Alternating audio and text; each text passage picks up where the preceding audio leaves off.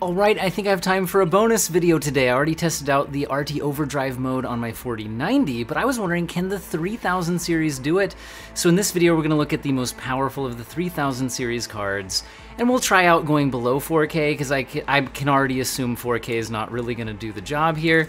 We're gonna try out the RT Overdrive mode, and we are on a 40, uh, sorry, a 3090 Ti graphics card. It is the Founder Edition at its out-of-the-box stock settings.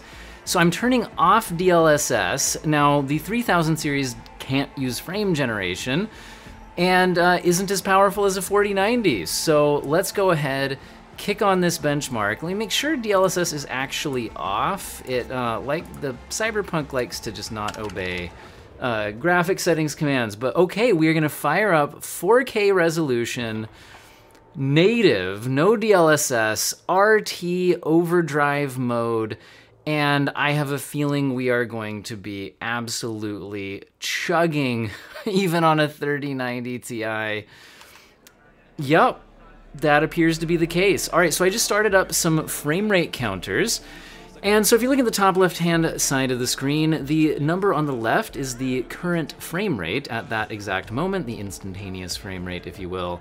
The one in the middle is the average frame rate. I started at the beginning of the benchmark run, and that will accumulate the averages as we go. And then we can see the 1% lows on the right. Judge video smoothness by the frame time graph, since I capture externally on a 60 FPS capture card.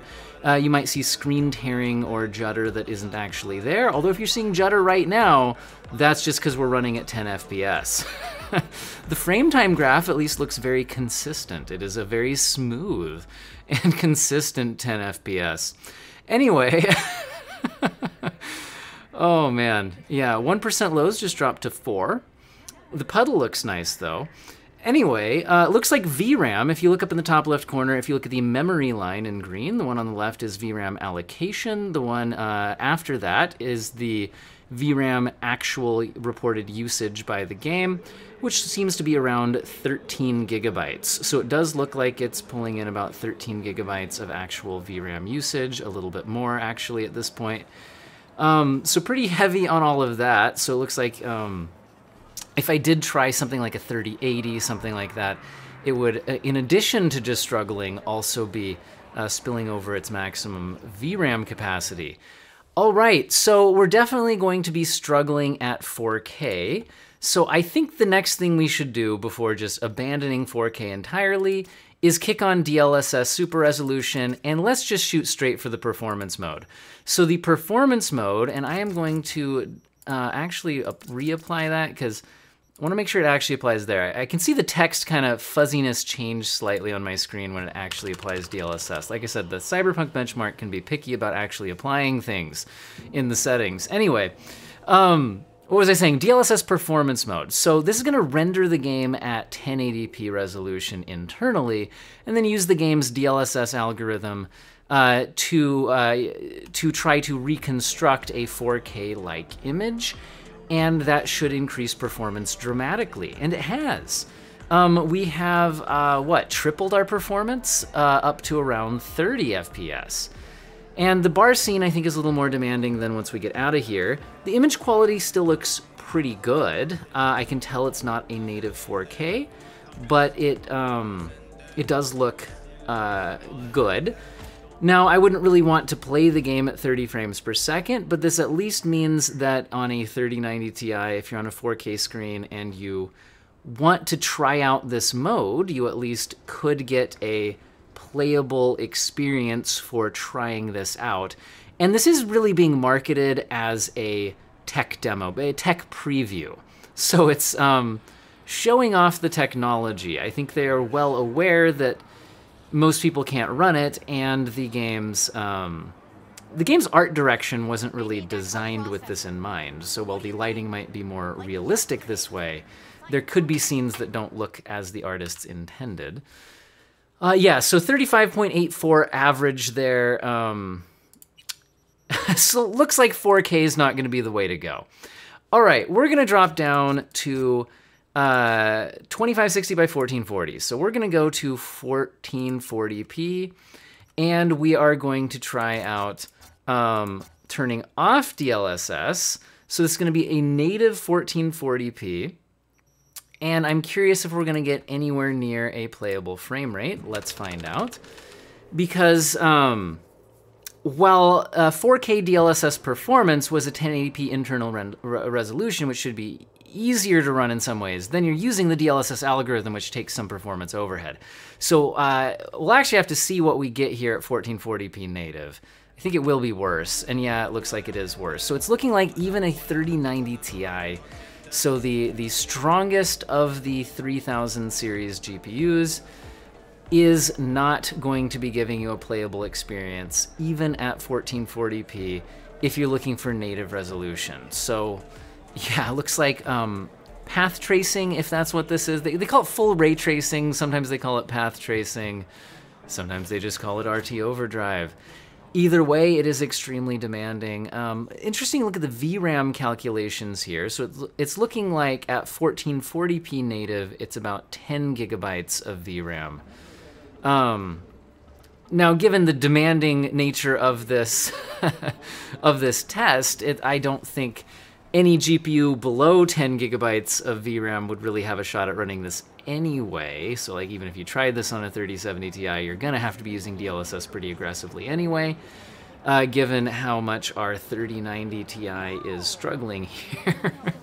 Look at the power draw on this thing too, 450 watts. Okay, uh, yeah, so 20, 23.59 uh, average on that. Not great so let's go ahead and kick on um, DLSS super resolution. You know what? Let's try it the quality setting because when I'm actually talking about good image quality at 1440p, um, the quality setting I think is pretty usable. Um, we certainly can go more aggressively, and I think we'll need to test that out anyway. But I'm just curious if by going down to the quality setting, if we're going to get something fairly playable, at least. Um, I think we will get a massive performance boost, but I don't think we'll be anywhere near 60 FPS. I'd guess more like the mid 40s. Let's see where we're at. Uh, yeah, it looks like in this bar scene, we are in the mid 40s. I think some of the other scenes um, are a little bit easier.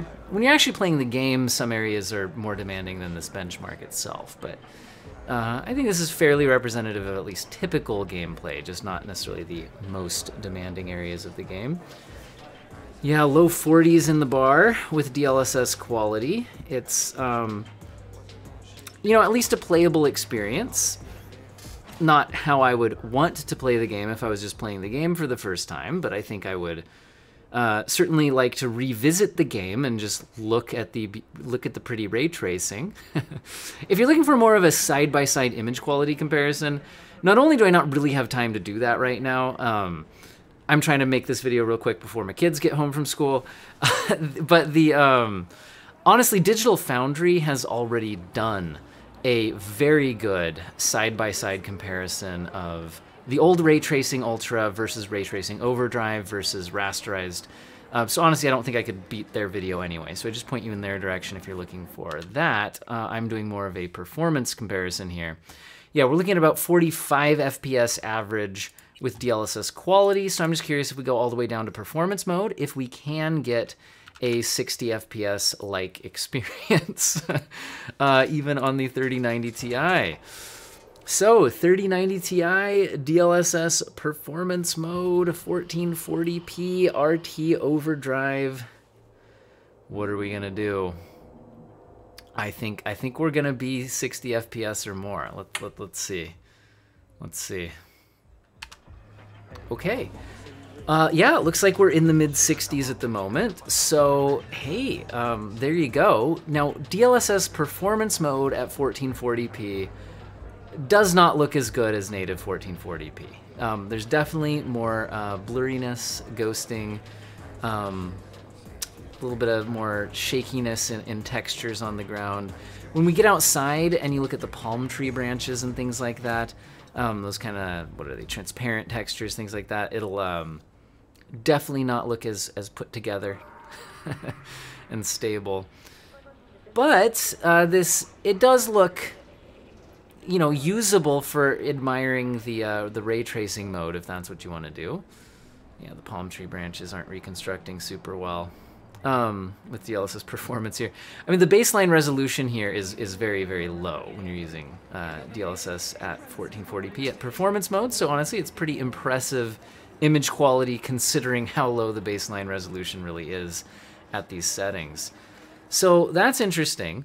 Now, I think just for fun, we should look at okay, so how well does a 3090 Ti run the the normal ray tracing mode? So like what if we actually just played the game at ray tracing ultra? So ray tracing ultra, I'll turn off DLSS. I'm gonna click it again and again just to be sure DLSS is off. So we're now at ray tracing ultra. This is the old maxed ray tracing preset, although you could go up to the Psycho manually. Uh, so I am just curious what we do here so we can kind of see the performance difference. How heavy of a hit is this? Uh, remember, we were down in the 20s when we were trying RT Overdrive at the native resolution, um, like we're doing here. So this is RT Ultra at native resolution 1440p. So you can see even the old RT Ultra mode wasn't performing super well even on a 3090 Ti. It's still incredibly demanding. So, um, also this gives you a chance, although it's not a side-by-side, -side, to look at the old RT Ultra versus what you were just seeing with the RT Overdrive mode.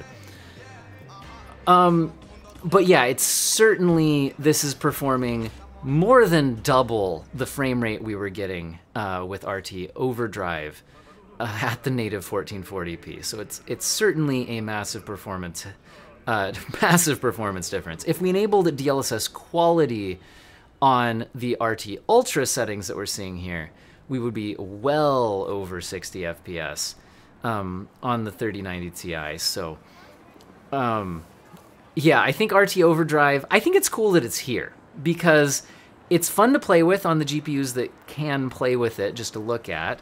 Uh, if you're on a strong enough GPU, uh, like a you know a 4090 on a 1440p monitor, then maybe it's even playable. But everybody can at least play with it, and then it'll be fun to come back to and revisit on on newer GPUs as they come out, that kind of thing. So let's go ahead and um, let's compare. Uh, you know what? How would it do at 1080p? So so what does it do at 1080p? So 1920 by 1080 Let's go back to the RT overdrive mode. So RT overdrive at 1080p. I'm gonna go ahead and toggle off DLSS.